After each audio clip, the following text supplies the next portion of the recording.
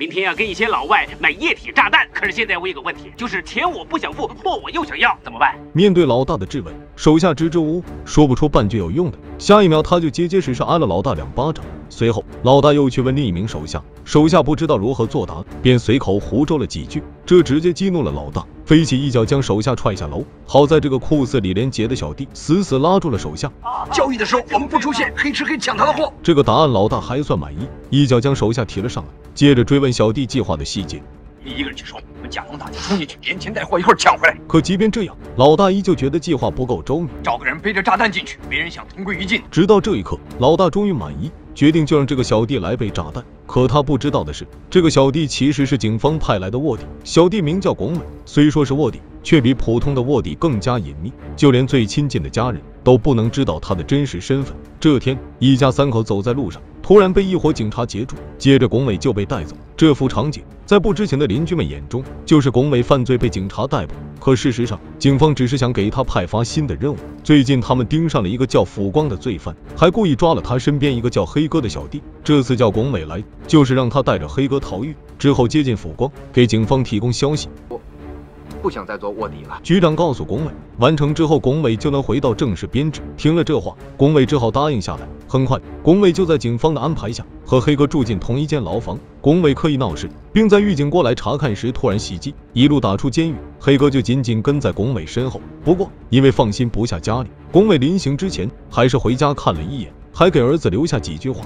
我走了以后，你就是家里唯一的男人。离开家之后，龚伟跟着黑哥来到香港，因为龚伟先前救过他。他就极力的报答龚美，还把他拉到老大辅光的手底下做事。最近辅光刚好要做件大事，他想从一伙外国军火商那里黑吃黑抢一批货，需要众人集思广益，这才有了开头龚美提计划的事。第二天，所有人按照计划实施，辅光独自带着钱去和卖家交涉。不出他所料，对方的人全都带了枪械。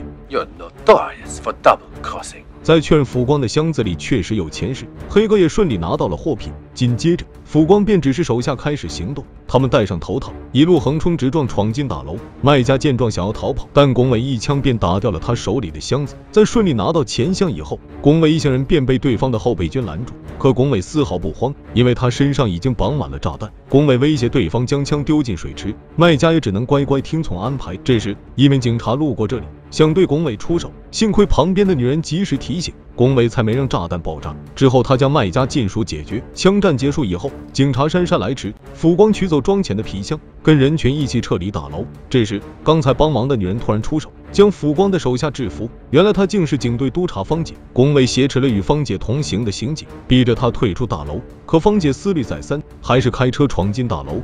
放了他，我做你的人质。龚伟果断跳进车里，两人一路向前疾驰，却走进一条死路，身后就是穷追不舍的警察。龚伟只能选择下车，在将警车打爆以后，他跳到旁边电线杆上想要脱身。方姐见状追了上去，却差点摔成肉泥。好在龚伟眼疾手快，拽住方姐，将她牢牢捆在了电线杆上。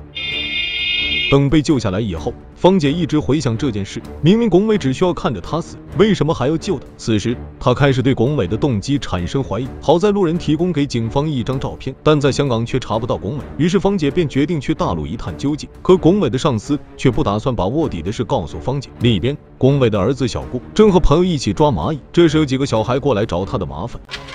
资料被孩子王捡了起来，一看里面的内容，顿时炸开了锅。原来那竟是父亲龚伟的通缉令。见小姑被人欺负，作为朋友的小胖冲上前撕毁了那张通缉令，在小姑被人砸石头时，也挡在他的身前。幸好传达室的工作人员过来，并告诉小姑，传达室有他的电话，那正是龚伟偷偷打来的。从小姑这里，龚伟得知妻子因为没钱治病，现在已经卧病在床。他虽然很想回家看看。但公务缠身，只能暂且忍耐，避免家里真的有什么急事。龚伟在挂电话之前，给小姑留下了他的传呼机号码，嘱咐小姑好好照顾母亲。回去以后，小姑看到自己辛苦抓的蚂蚁全被那群坏孩子冲走，这时小姑再也忍不下去，在将这群小孩教训一顿以后，巩固威胁他们以后不准再说父亲的坏话。等到放学铃响，巩固像往常一样走路回家，却没注意到身后方姐悄悄跟了上来。原来他从上司那里听说龚伟在北京还有妻儿。所以想去他家里查查龚伟的身份，可在进门以后，芳姐才发现龚伟家的条件竟然这么差。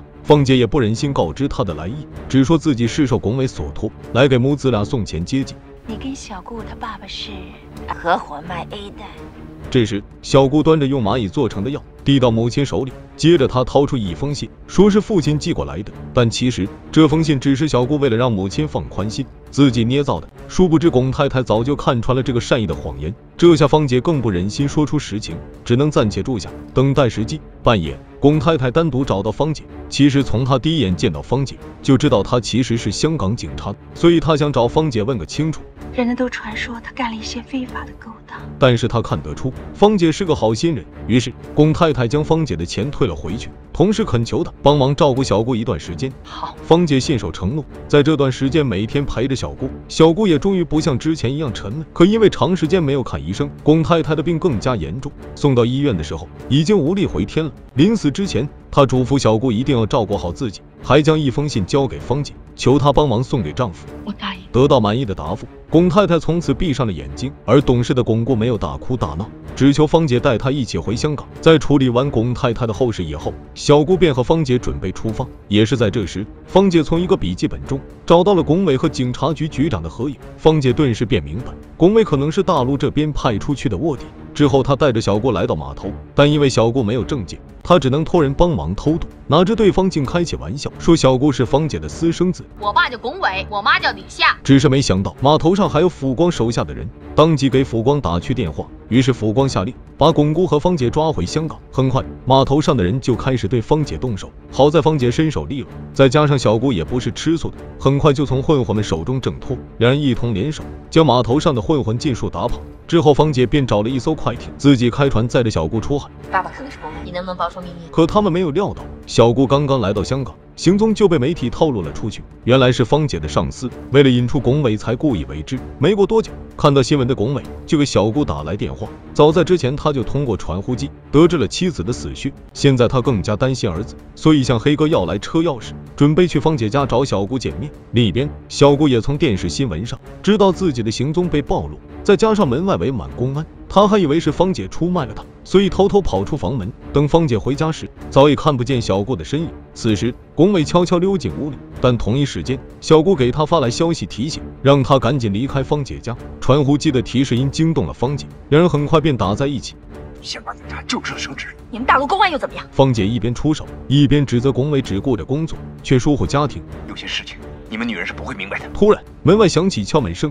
龚伟反应很快，马上就从窗户逃走。等警察闯进来时，已经来不及了。回去的路上，他取出妻子临终前的信。原来在刚才的打斗中，芳姐已经悄悄把信交给了他。而在大街上，小姑从芳姐家跑出来之后，被富光发现，他谎称自己是龚伟的朋友，把小姑带了回去。即便是吃饭的时候，也时刻盯着小姑。不过在拆开饭盒时，小姑发现了“坏人”两个字，原来是黑哥担心他被骗，好心提醒他。此时，龚伟从外面回来，看到儿子在这儿，他虽然惊讶。却还是不动声色，假装不认识小顾。龚伟是不是你儿子？姓龚的就是我儿子。辅光转头问小顾的爸爸是不是警察？你为什么要告诉？这句话激怒了辅光，他按住小顾的头，直接击碎了玻璃桌。眼看小顾就快被辅光活活打死，龚伟果断出手接过了这个任务。你来香港干什么？找我爸爸，告诉他把所有的坏人全部铲除。话音刚落，龚伟便扼住小顾的咽喉，小顾头一歪，便没了气息。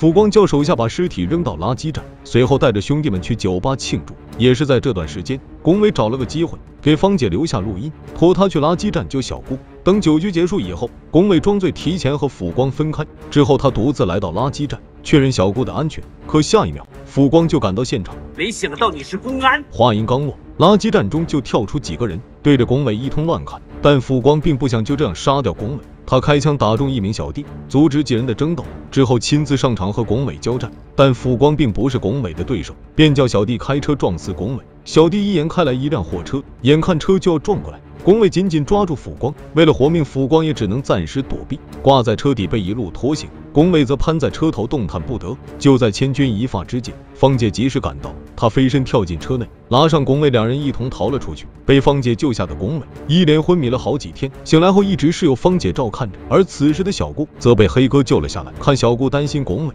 他便安慰小姑，之后会更努力的帮他联系拱美。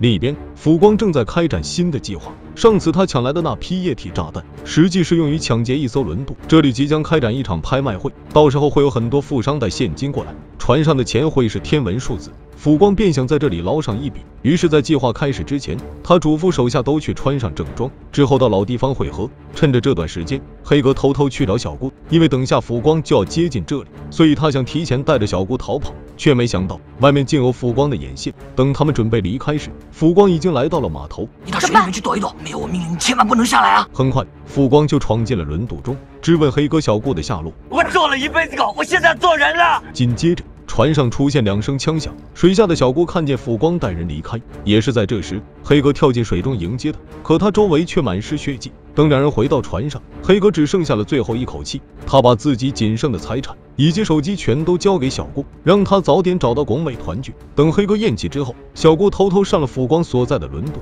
并打电话给龚伟。收到小顾的消息之后，龚伟马上给他回了电话，之后出发去找小顾。而这通电话也通过电话录音被芳姐听到。我在。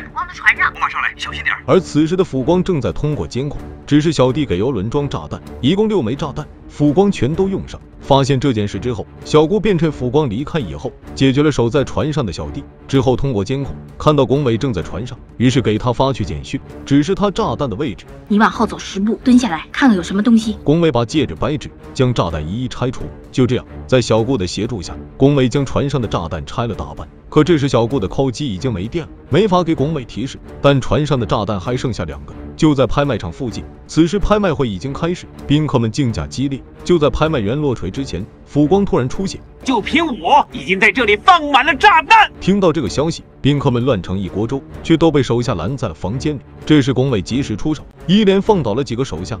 又是你！龚伟告诉辅光，他已经把船上的炸弹全都拆除。辅光自然不信，可一连按了几个爆破键，全都没有响应，他便信以为真，把遥控器扔在地上。此时小弟们一拥而上，但他们根本不是龚伟的对手，就连辅光身边的两个也都被他瞬间秒杀。现在只剩下辅光和龚伟一对一 solo，两人身手相当，打得难舍难分。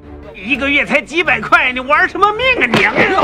辅光将外套耍得行云流水，接连几掌瞬间就让龚伟落入下风。这时两名小弟已经恢复过来，他们和辅光联手一同对付龚伟，因为攻势太猛。龚伟只能退到脚手架上。这时，小弟将文物里的宝剑递给辅光，辅光趁机砍断悬挂的盾牌。好在龚伟闪身躲过，但他还是被倒下来的盾牌扣在了下面。就在辅光准备补刀时，小姑及时赶到，用灭火器喷向辅光，随后救下龚伟。你们父子俩真的不怕死啊？父子俩一同联手，瞬间占了上风，将小弟们牢牢锁住。但辅光突然出手向小姑进攻，又让两人逃了出来。龚伟将绳子缠在小姑身上，父子齐心将辅光打得连连败退。辅光见状，只能暂且撤退，但龚伟和小姑很快追了上去。这时，一名小弟也冲过来，和小姑缠斗在一起。在龚伟救他的同时，辅光随手按下炸弹爆破键，将附近的炸弹引爆。兄弟就是用来出卖的，这回我又少分一份。危急关头，方姐突然出现，开枪击中辅光，但辅光为了保命，